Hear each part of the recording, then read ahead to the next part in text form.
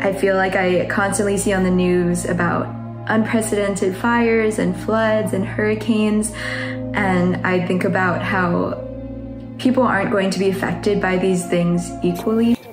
The brook is our supermarket, it's our pharmacy, it's our energy, it's everything for us. And if this ecosystem is getting extended, that means our life is getting extended. I can't morally justify raising a child in a planet that's literally on fire. Some people think of Iraq as just a desert, but it's much more than that. We have a beautiful nature and scenery distinctive to each region within the country. It would be devastating to see all that just get ruined with climate change. Some of these experiences seem like they are far from us, but seeing people struggling to get water as a person who has lived with water scarcity or water shortages for quite a long time, it's frustrating.